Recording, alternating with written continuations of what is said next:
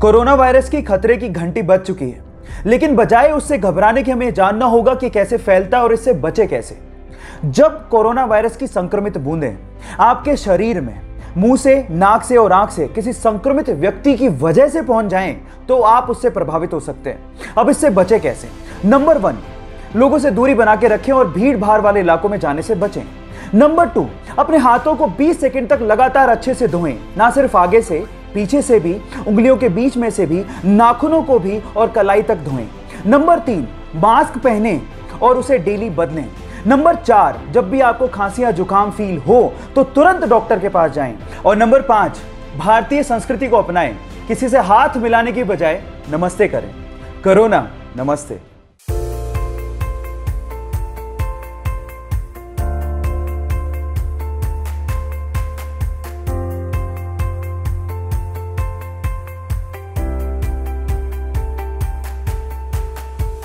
Vedantu rocks guys how are you क्या हाल चाल समझ आएगा तो मज़ा आएगा मज़ा आएगा तो समझ आएगा।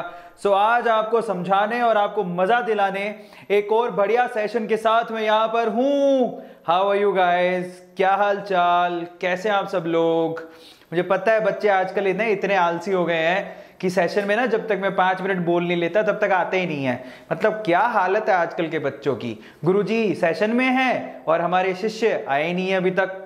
तो कौन कौन अभी प्रेजेंट है? जैसे हाय सर आर यू क्या हाल चाल आज भी डंडा लेके आऊँ आपके लिए। क्योंकि आज चल रहा है नीट का sprint this is sprint NEET 2020 chemistry में सॉल्यूशन चैप्टर करने वाले हैं। और अगर आप लोग अभी आ चुके हैं so say hi Arvind sir thank you so much for coming guys love you all आज डंडा लेके क्यों आए? क्योंकि आज मैं करूँगा उन बच्चों की पिटाई जो यहाँ पर आंसर नहीं देंगे। है ना?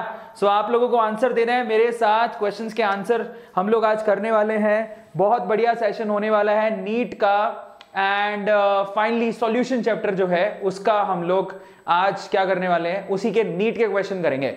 सो so, शुरू करें गाइस क्या आप लोग तैयार हो? I am really very fine बच्चा लोग। आप लोग बताओ कैसे और क्या आप लोग तैयार हो? एकदम रेडी हो तो अपन शुरू करते हैं। एकदम रेडी हो तो अपन स्टार्ट करते हैं। देखिए कितने लोग यहाँ पर दिख रहे हैं। कृतिश सिंह आरजीव लोग। और कौन है? आशीष भोलू प्रथम तुषार लवलीन क्या नाम है? एंड फरीन प्रथम Surya Kriti Bholu Pratham Salman Khan Shahrukh Khan Aamir Khan. Thank you so much for coming guys चलो आज हम लोग क्रिकेट खेलते हैं और उसी बे में छक्का लगाते हैं। सॉल्यूशन चैप्टर को शुरू करते हैं और मुझे पता है आप लोग एकदम तैयार हो। सो so, क्या करने वाले आज? केमिस्ट्री में स्प्रिंट में 2020 सॉल्यूशन चैप्टर को आज हम लोग एकदम उधेड़ने वाले हैं। यार, ये अपना फैमिली है, अपना परिवार है, और अपने परिवार को अगर आपने अभी तक सब्सक्राइब नहीं किया है तो हाय, दिल को एकदम आपने मतलब दर्द दे दिया इधर दर्द हो रहा है, देख लो, सच्ची बता रहा हूँ। So what you have to do is guide आपको क्या करना है? वेदांतु नीट मेडी दी चैनल जो कि आठ लाख दस हज़ार पे पहुँच चुका है। आपको उसको फटाफट से 9 लाख और 10 लाख तक लेके जाना है। 1 मिलियन तक अगर आपको लेके जाना है तो आपको क्या करना पड़ेगा? You have to subscribe it man subscribe it right now चलो बच्चा, लोग एमसीक्यूज को शुरू कर रहे हैं। पहला सवाल मैं आपके सामने रख रहा हूँ। ध्यान से उसको चेक करिएगा। आप लोग तैयार हो क्या पहले सवाल के लिए? हाउ इज़ द जोश बच्चा लोग? हाउ इज़ द जोश जोश का स्पेलिंग क्या होता है? J O S H how is the जोश आपका जोश बढ़ाने के लिए गरिमा मैम आपके साथ चैट सेक्शन में जुड़ी हुई हैं तो क्या चाहिए आपको बताओ? सो so, ये गरिमा गोयल जोश जोश इज़ रियली हाई देखो क्या बात है। तो गरिमा मैम भी आपका जोश बढ़ा रही है हैं? और आप लोग आप लोग कैसे हो? हाई जो हाई जोश में हो ना? बताओ मुझे। हाई जोश है सुपर हाई है दैट्स रियली ब्रिलियंट बच्चा लोग। तो चलिए पहला बॉल मैं आपको डाल रहा हूँ। बैटिंग आप लोग कर रहे हो और आपको लगाना है चौका छक्का या फिर आप आउट हो जाते हो दैट डिपेंड्स अपॉन यू ठीक है? क्वेश्चन आपके सामने रखूँगा और आप बताओगे कि आपने चौका लगाया छक्का लगाया फिर आउट हो गए। सो so, कैसे पता लगेगा? अगर आप एकदम हंड्रेड परसेंट जानते हैं और आपको आता है तो आपका छक्का हो गया मतलब छक्का लगा दिया आपने। पर आपको लगता है थोड़ा बहुत शक है नाइनटी परसेंट एटी परसेंट ही जानते हो तो चौका है। लेकिन अगर आपको बिल्कुल भी नहीं आता है तो इसका मतलब आप आउट हो गए। ठीक है? तो इसके बिहार में नंबर कितने देने हैं? अगर आपने छक्का लगाया तो फुल प्लस फोर मार्क दे दो। चौका लगाया डाउट में हो तो बच्चा अपने आप को तीन नंबर दे देगा और अगर आप आउट हो गए तो अपने आप को कितने माइनस वन मार्क दोगे? ये ध्यान रखना है आपको, ठीक है? इस तरह से नंबर की कैलकुलेशन करो। नए तरह का कैलकुलेशन है, ठीक है? और पता नहीं, मेरे हाथ में नीट होता तो मैं ऐसी कैलकुलेशन रख देता डाउटफुल बच्चों के लिए डाउटफुल मार्क्स चलो तो पहला सवाल मैं आपके सामने रख रहा हूँ। Number one question number one are you guys excited and ready let's do it then number one question is this चलो, पहला सवाल। आपके सामने ये रहा स्क्रीन पर बताओ क्या आंसर हो सकता है which of the following units is useful in relating concentration of solutions with its vapor pressure. So this is the question and we have the options. Now, now look at it. We have four options right now, mole fraction, part per million, mass percentage and molality. So can you please answer this question? Come on guys, answer this question. So इसका answer सब लोगों ने बता ही दिया है actually आपसे पूछा गया था कि वेपर प्रेशर में कौन सी कॉन्सेंट्रेशन टर्म यूज़ की जाती है? तो I will give you the answer and final answer of that particular question is you know that come on guys That is A means Arvind Arora. Obviously, that is mole fraction would be the answer. सबको पता है यार vapour pressure का formula क्या लिखते हो? That is the formula of the vapour pressure vapour pressure के case में क्या लिखते हो? आर के केस में याद है आपको? आर एल आर का जो फॉर्मूला था that is actually the mole fraction of solute याद है? That is X of solute तो एक्चुअली वहाँ पर मोल फ्रैक्शन यूज़ करते हैं। R L is actually equals to X of solute तो वहाँ पर मोल फ्रैक्शन यूज़ करते हैं। क्या बात है बच्चा लोग? एकदम चार नंबर बना लिए तुम लोगों ने। धमाका कर दिया है। अगला सवाल रख रहा हूँ। नेक्स्ट क्वेश्चन आपके सामने। लेकिन उससे पहले ये सोल्यूशन है। वैसे भी सोल्यूशन किसी काम का नहीं है, सबको पता है। So this is the solution ये आपके सामने है, सबको ही पता है, सबने पढ़ रखा है। अगला सवाल, ये बहुत अच्छा सवाल है। Question is the ratio of delta T F for this solution assuming complete ionization to delta TF for the solution of sugar equals to the concentration. That's really good question. और अब देखते हैं आपने क्या आंसर दिया है। A B C D we four option A mean Arvind Arora B mean Bhuvan Bam C mean CarryMinati and D mean Delhi का लोंडा क्या आंसर बनेगा जरा बताओ। आज का दिल्ली का लोंडा नहीं यहाँ पर। दिल्ली का छोड़ो। पब्लिक आजकल दिल्ली में सर्दी सर्दी को ऐसे कर रही है मतलब महसूस करने गई हुई है पब्लिक। बताओ इसका आंसर क्या होगा? देखें क्या आंसर बनता है आपका। बहुत बढ़िया सवाल है। देखिए कितने लोग आंसर करते हैं। आपके पास दो सोल्यूशन हैं। एक में आपने K four F C N six डाल रखा है और दूसरे में आपने क्या डाल रखा है?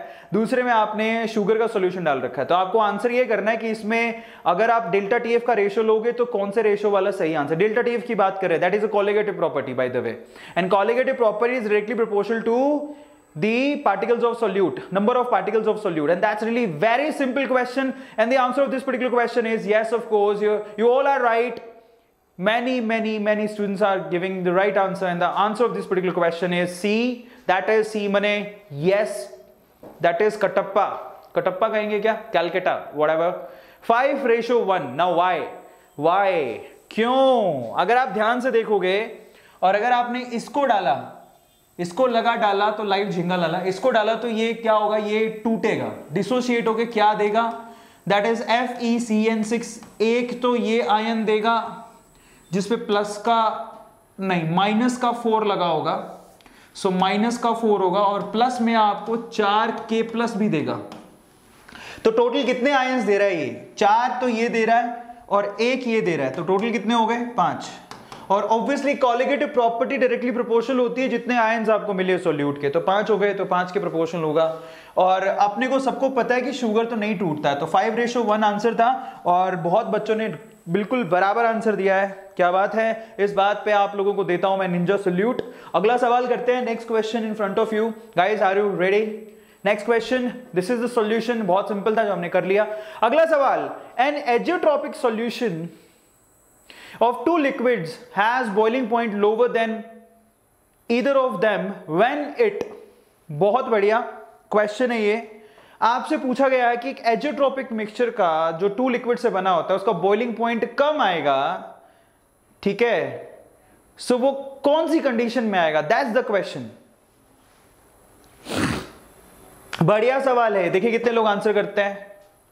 देखिए कितने लोग आंसर करते हैं। An azeotropic solution of two liquids ठीक है has boiling point lower boiling point कम आ रहा है मतलब आसानी से बॉइल हो जा रहा है। वो कब आएगा? बहुत सिंपल है, बहुत सिंपल है। Let me tell you this is really very simple अगर एक्सपेक्टेशन से बॉइलिंग पॉइंट कम आता है, आसानी से बॉइल हो रहा है, इसका मतलब आंसर इसका क्या बनेगा? काफ़ी लोगों ने आंसर दे ही दिया है। And answer this question is C obviously positive है। आप जरा दिमाग लगाओ, कहता है आपसे कि बॉइलिंग पॉइंट कम है। कम बॉइलिंग पॉइंट का मतलब क्या है? आसानी से वो बॉइल हो जाएगा। आसानी से बॉइल हो जाएगा, उसका मतलब क्या है? उसका मतलब ये है बेसिकली कि वो पॉजिटिव डेविएशन शो कर रहा है। आप लोगों को रोल्ट का ये ग्राफ तो याद होगा? रोल्ट के ग्राफ कैसे आते थे? रोल्ट के ग्राफ आते थे एक यू एक यू और एक यू याद है? और पॉजिटिवली डेविएटेड ग्राफ ऐसे आते थे। पॉजिटिवली डेविएटेड मतलब इसके ऊपर होगा। सो ये ग्राफ पॉजिटिवली डेविएटेड क्यों है? क्योंकि वेपर कम बन रही है। और जब वो पॉजिटिवली डेविएटेड है तो एजोट्रोपिक मिक्सचर जिनके बॉइलिंग पॉइंट कम होते हैं, वो पॉजिटिवली डेविएटेड से बनते हैं। बहुत स्ट्रेट फॉरवर्ड है। ठीक है? सो फाइनली आंसर इसका सी बनेगा और आप लोगों ने सी इसका आंसर दिया भी है। बहुत लोगों ने पॉजिटिवली डेविएटेड लिख भी दिया है। ये ग्राफिकल रिप्रेजेंटेशन है, बहुत सिंपल है। और एक्चुअली ये वो पॉइंट है जहाँ पर आप एजेट्रोपिक मिक्सचर बनाते हो। क्लियर हो गया? ये वो पॉइंट है जहाँ पर आप एजेट्रोपिक मिक्सचर बनाते हो, वो पॉजिटिवली डेविएटेड से बनेगा क्योंकि उसका बॉइलिंग पॉइंट कम आ रहा है। अब नेक्स्ट क्वेश्चन अगला सवाल, और अगर आप इसकी थ्योरी जानना चाहते हो तो आप जा सकते हो, मैंने इस पे कंप्लीट थ्योरी डाल रखी है। नेक्स्ट क्वेश्चन 2003 में पूछा गया है during the depression of freezing point in solution following are in equilibrium अच्छा सवाल है जो कि 2003 में पूछा गया है। जब डिप्रेशन फ्रीजिंग पॉइंट की बात होती है तो आपसे पूछा यह गया है कि इनमें से क्या इक्विलिब्रियम में होता है। चार ऑप्शन है आपके पास। इनमें से क्या इक्विलिब्रियम में होता है? Liquid solvent solid solvent liquid solvent solid solute liquid solute and solid solute and liquid solute and solid solvent बढ़िया सवाल है। So can you answer this question come on answer this question come on guys देखिए कितने लोग answer करते हैं। Come on give the answer come on guys give the answer क्या बात है? बच्चे लोगों ने आंसर भी दे दिया है। बहुत बच्चे अच्छे से पढ़ाई कर रहे हैं, ये तो दिख रहा है। मतलब काफ़ी बच्चे एकदम करेक्ट आंसर दे रहे हैं। तो आपसे पूछा है कि फ्रीजिंग पॉइंट का जो डिप्रेशन वाला आप जो ग्राफ बनाते हो, उसमें खुद से सोचो कि क्या क्या चीज़ें इक्लिब्रियम में होती हैं। जरा आपने सोचा है कभी? क्या क्या चीज़ें इक्लिब्रियम में होती हैं? उसके लिए आपको फ्रीजिंग पॉइंट क्या होता है, वो जानना पड़ता है। और फ्रीजिंग पॉइंट क्या होता है? जब सॉल्वेंट का सॉलिड और सॉल्वेंट का लिक्विड स्टेट एक दूसरे के साथ क्या हो? इक्लिब्रियम में। तो सॉल्वेंट आता है दोनों जगह। That that's called free freezing point याद है? और मैंने आपको करवाया भी हुआ है। Finally answer of this particular question is A mean Arvind Arora that would be the answer ये आंसर बनेगा liquid solvent and solid solvent ये इक्विलिब्रियम पर होते हैं। ग्राफिकल रिप्रेजेंटेशन में आ जाओ, याद करो ऐसे ग्राफ बनाए थे। तो ये जो आपको दिखाई दे रहा है, वो लिक्विड सॉल्वेंट और नीचे वाला सॉलिड सॉल्वेंट है। जहाँ पर एक दूसरे को काटते हैं, वो आपके पास फ्रीजिंग पॉइंट होता है। लेकिन जैसे ही आप सॉल्यूशन बनाते हो तो इसका यहाँ से ये लाइन ऊपर से नीचे ड्रॉ होने लगता है बिकॉज़ ऑफ़ वेपर प्रेशर कम हो जाता है। याद है? ये करवाया था। ठीक है? सो फाइनली आंसर इसका क्या बनेगा? लिक्विड एंड सॉलिड सॉल्वेंट बनेगा। Now this is really very very very important answer this question is A अगर आपने ए दिया है तो आप बिल्कुल सही हो। अगला सवाल next question which one of the following modes of expression expressing concentration is independent of the temperature सबसे सिंपल सवाल है और पता नहीं क्यों पूछा गया है, लेकिन तीन चार बार आ गया। अब इसका आंसर दो molarity molality formality and normality क्या आंसर बनेगा चार में से? जो टेम्परेचर से एक्चुअली इंडिपेंडेंट है टेम्परेचर से इंडिपेंडेंट है, क्या बनेगा? इसका तो आंसर आना चाहिए यार, बच्चा लोग। फाल विचेज कुछ हो रहा है। प्लस का 16 मार्क बना के बल्ले बल्ले दैट्स कूल बताओ इसका आंसर क्या होगा? क्या बात क्या बात क्या बात। फाइनली टेम्परेचर से इंडिपेंडेंट टर्म यहाँ पर सिर्फ़ एक ही है और सब बच्चों ने प्लस फोर मार्क यहाँ पे ले लिया है। ब्रिलियंट यार, क्या बात है। तूफ़ान मचा दी हो तुम लोग आज। Finally answer this question is B obviously molality molality क्या होता है? मोल्स मोल्स पर केजी वेट ऑफ़ सॉल्वेंट तो मोल्स भी टेम्परेचर से इंडिपेंडेंट होते हैं और वेट भी टेम्परेचर से इंडिपेंडेंट होता है। ऐसा कभी नहीं होता आप धूप में निकले और आप एक किलो वेट कम करके आ गए। अगर ऐसा होता तो दिल्ली वाले अभी तक अपना वेट कम कर लिए होते। सही है ना? सो so, चलो धूप में घूम घूम के। वैसे वहाँ तो ठंडी पड़ रही है। सो फाइनली आंसर बन गया इसका है बी और आप लोगों ने जान ही लिया होगा आंसर इसका बी है। अब अगला सवाल नेक्स्ट क्वेश्चन ये इसका सॉल्यूशन है वो मैंने आपको बता ही दिया है। अगला सवाल which of the following aqua solution should have the higher highest boiling point आपको बताना है, इसमें से कौन सा हाइएस्ट बॉइलिंग पॉइंट होगा? किसका हाइएस्ट बॉइलिंग पॉइंट होगा? चार ऑप्शन है आपके पास। बहुत बढ़िया। देखो, सबसे बढ़िया बात। सबकी मोलालिटी सेम है। वन वन वन वन लेकिन यहाँ पर सॉल्यूशन अलग अलग है NaOH Na2SO4 Na4NO3 NH4NO3 and KNO3 तो आपको बताना है कि इसमें से किसका हाईएस्ट बॉइलिंग पॉइंट होगा? हाईएस्ट बॉइलिंग पॉइंट उसी का होगा जिसके टुकड़े ज़्यादा होंगे। Yes that is elevation in boiling point तो हाईएस्ट बॉइलिंग पॉइंट किसका होगा?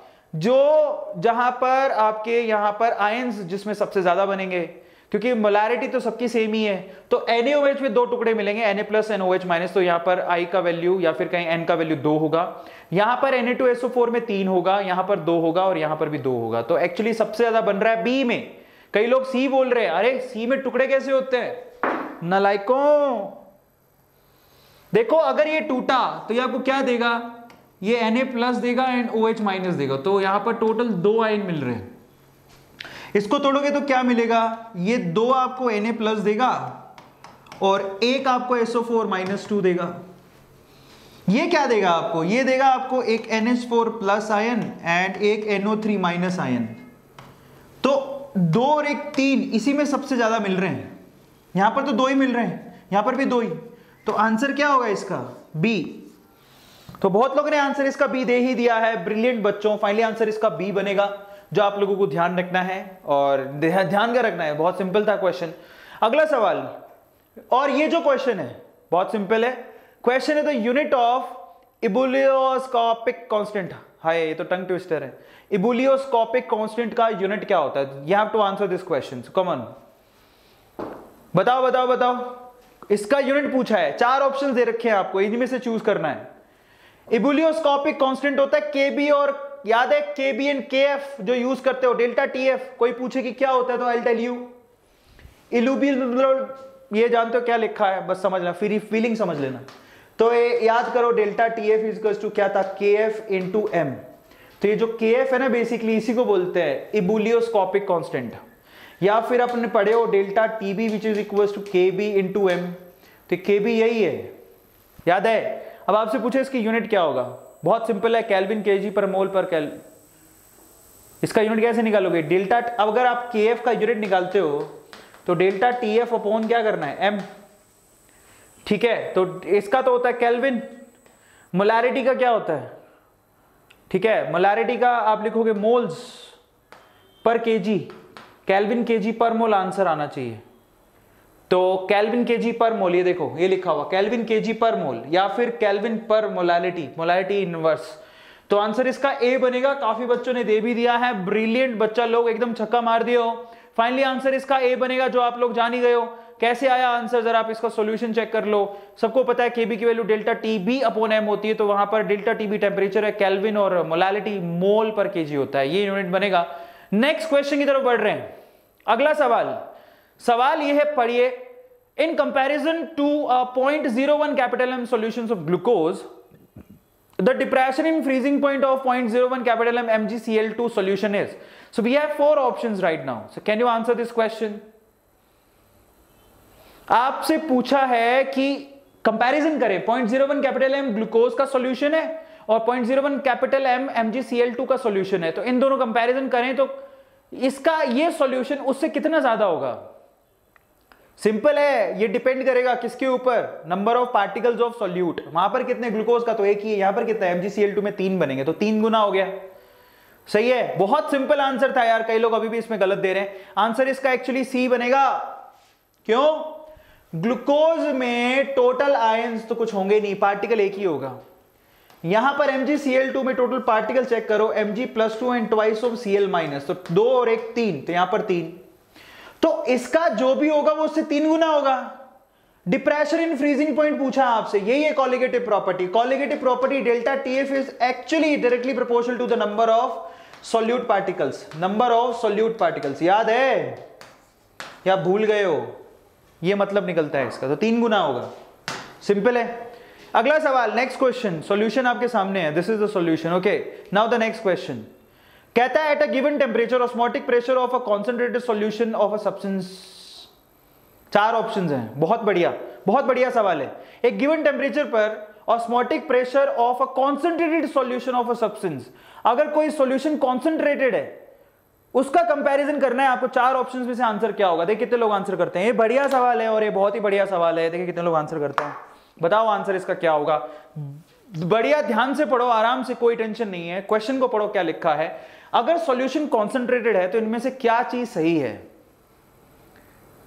बेटा, पढ़ो, ऊपर क्वेश्चन लिखा हुआ है।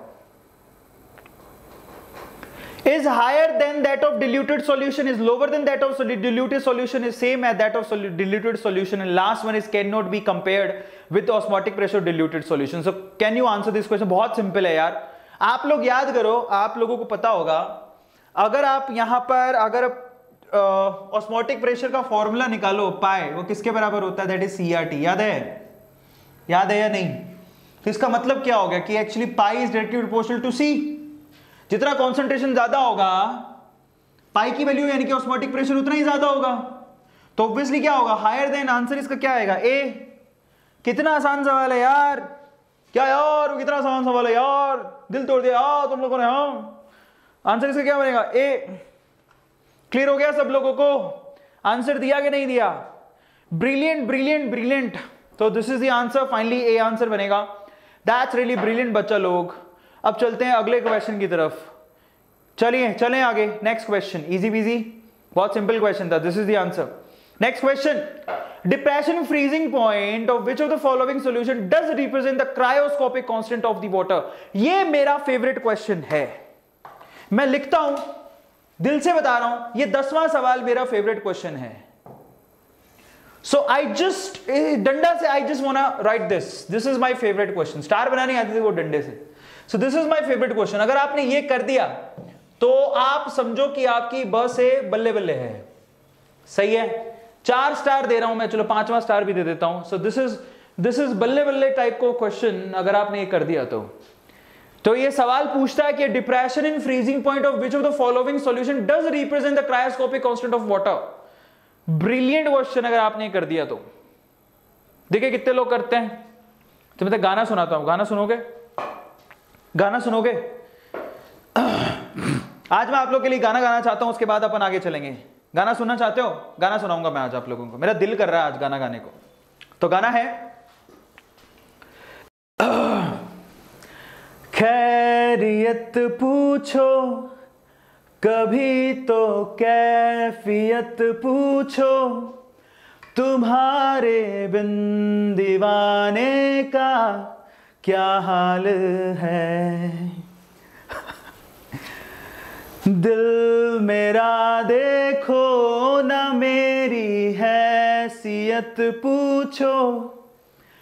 तेरे बिन एक दिन जैसे सौ साल है। अंजाम है तय मेरा होना तुझे जितनी भी हो दूरियाँ फ़िलहाल है। सही। गाना अच्छा लगा तो अब जवाब दे दो। बताओ, क्या आंसर होगा?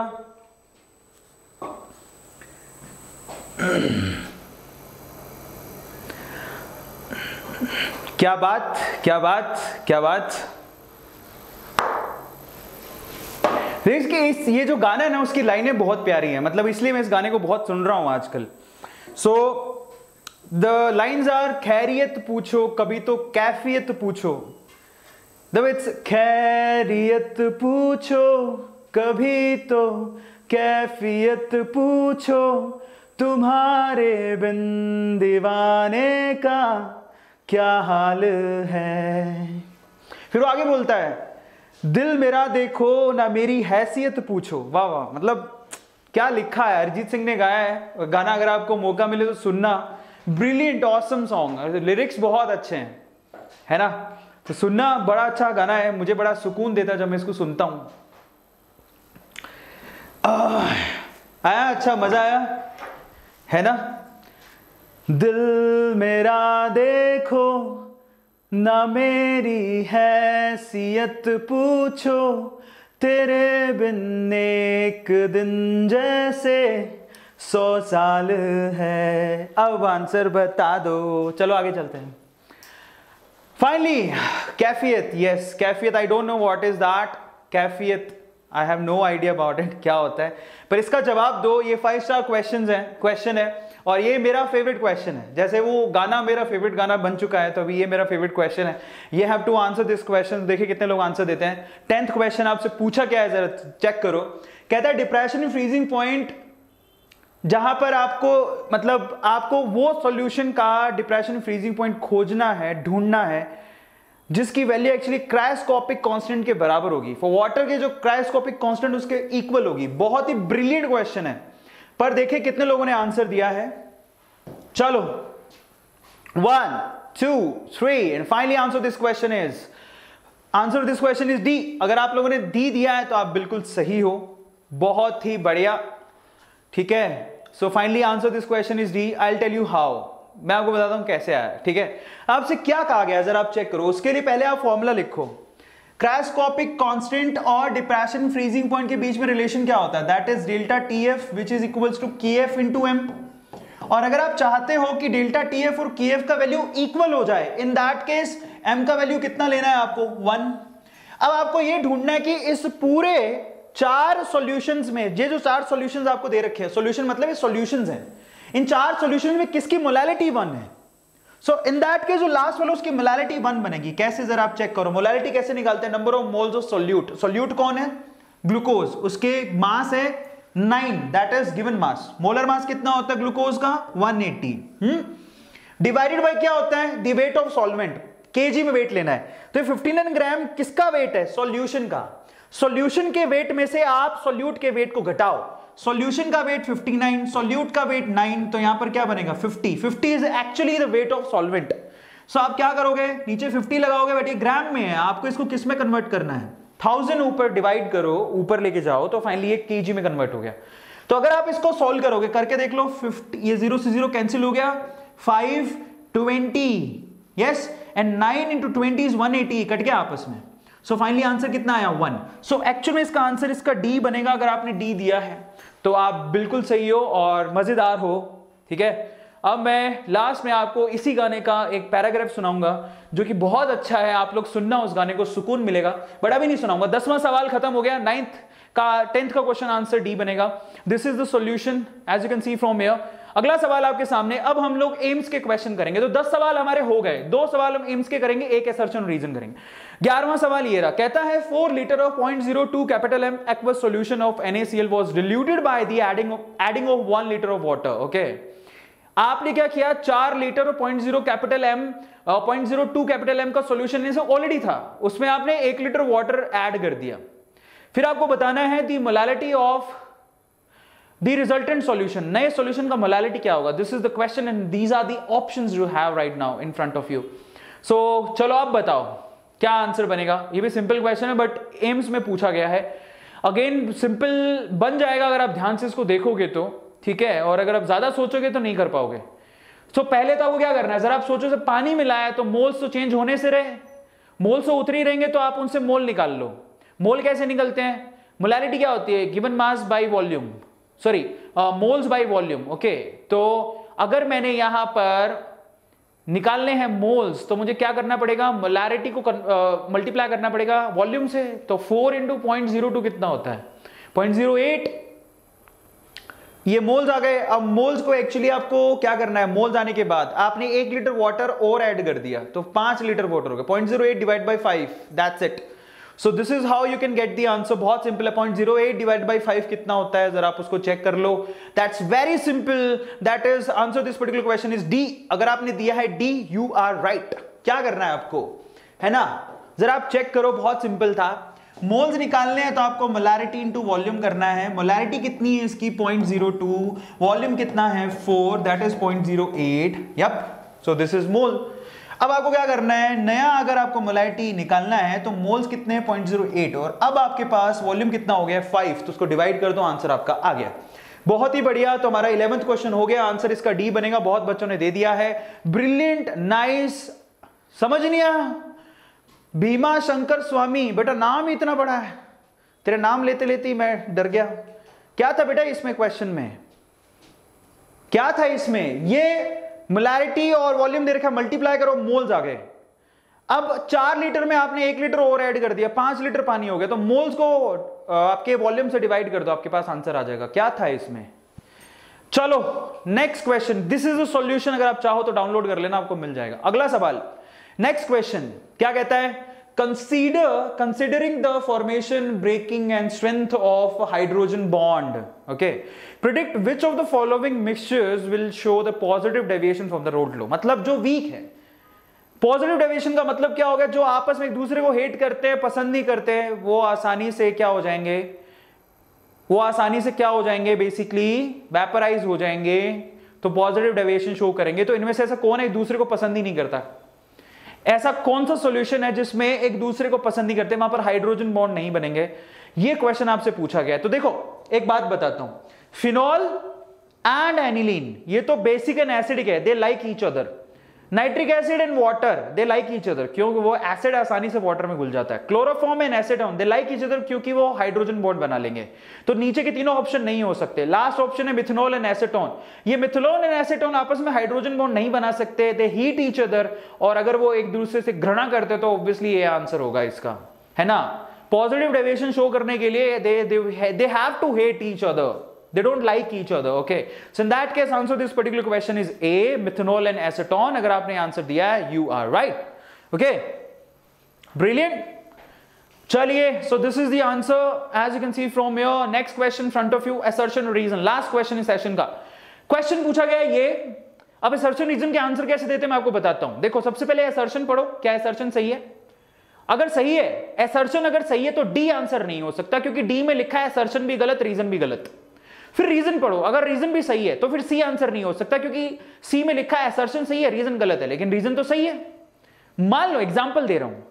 और अगर मान लो कि रीजन भी सही है असर्शन भी सही है, लेकिन रीजन असर्शन को एक्सप्लेन नहीं करता तो आंसर इसका आएगा बी और अगर रीजन असर्शन को एक्सप्लेन करता तो आंसर इसका आएगा ए अब ध्यान से पढ़ो, इसका आंसर दो। पूछा है colloidal solution show colligative property बिल्कुल सही बात है। अगर आपने ध्यान से सरफेस केमिस्ट्री पढ़ी है तो आप इसका आसानी से आंसर दे सकते हो। Colloidal solutions actually colligative property show करते हैं। नीचे लिखा है colloidal particles are large in size ये भी सही बात है। उनकी साइज़ बड़ी होती है। सवाल ये है कि क्या साइज़ बड़ी होने की वजह से कॉलिगेटिव प्रॉपर्टी शो करते हैं क्या? नहीं। इज़ दिस क्लियर नहीं। तो एक्चुअली एसर्शन भी सही है रीजन भी सही है, लेकिन रीजन एसर्शन को एक्सप्लेन नहीं कर रहा। फाइनली आंसर इसका बनेगा। Obviously answer this question is B yes this is the answer सारी चीज़ें मैंने एक्सप्लेन कर दी हैं और ये इस तरह से आंसर इसका बनाना था, ठीक है?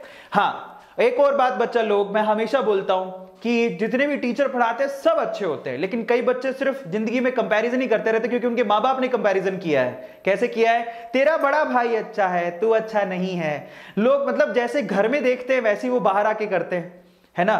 तो मैं एक बात बताऊँ, पाँचों उंगलियाँ कभी बराबर नहीं होती और हर किसी की अपनी एक खासियत होती है।